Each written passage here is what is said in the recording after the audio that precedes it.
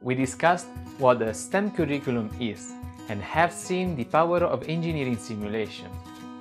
ANSYS Discovery Day is a STEM program that uses engineering simulations to help you better understand the physics and retain more of what you learn.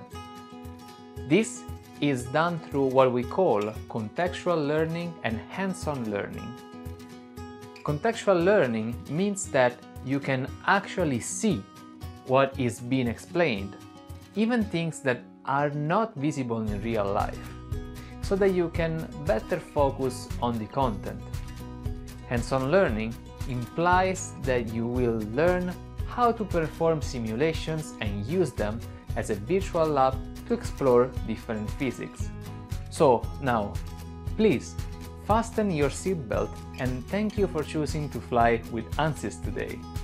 In this course we will introduce basic elements of aerodynamics and discuss their importance. Then we will explore the concept of lift through videos, doing experiments and performing simulations. Next, we will learn about drag using a similar approach.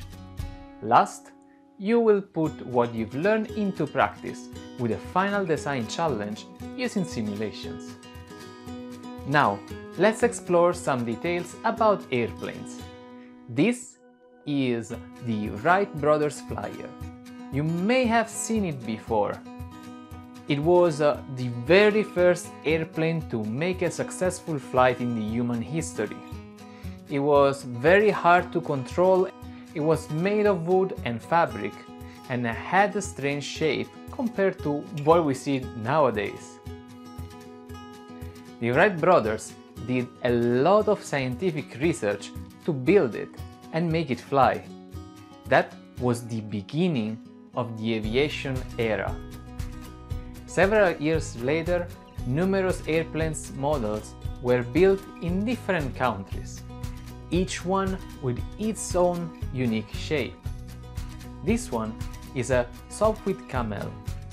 It looks like a, a modern version of the Flyer and presents some characteristics that we can still see in small airplanes. For example, a single propeller in front, landing gears, and a fuselage for the pilot to sit in. This was a biplane, meaning that it had two wings. And you can see that the wings were almost completely flat. This is because at the time there was a very little knowledge of aerodynamics. In the same period there was another famous airplane flying up in the air, the Fokker DR-1, piloted by the Red Baron, who was the ace of his period. This airplane had three wings, a bird-like tail, and was very maneuverable.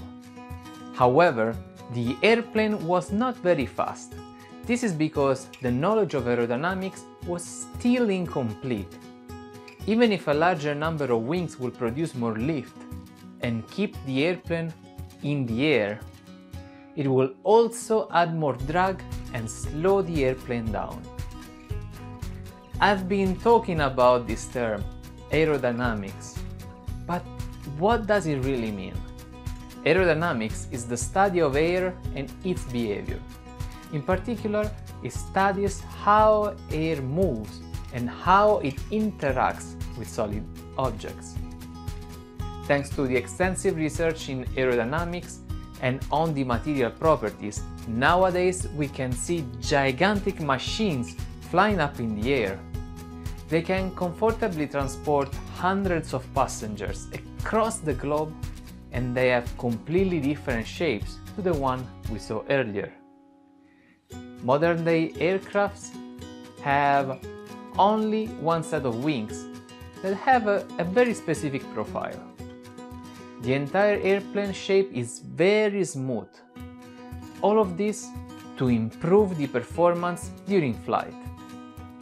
Let's now introduce some basic aerodynamics concepts. We can start with three quantities. The first is pressure.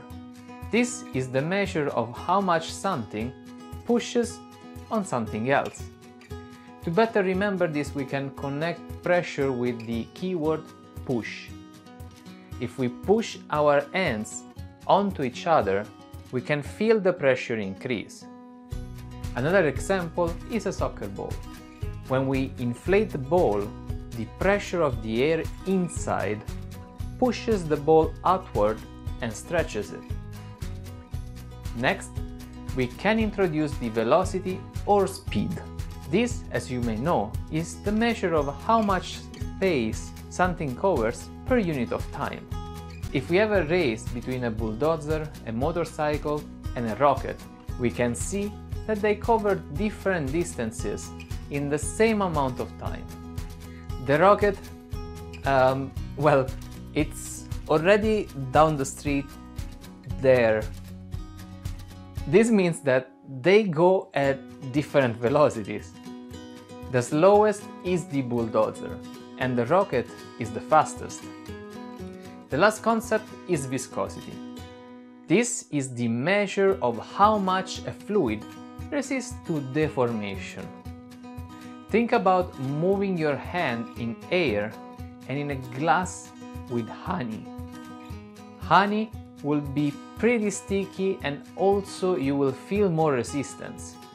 To remember this, we can connect viscosity to the keywords stickiness and resistance.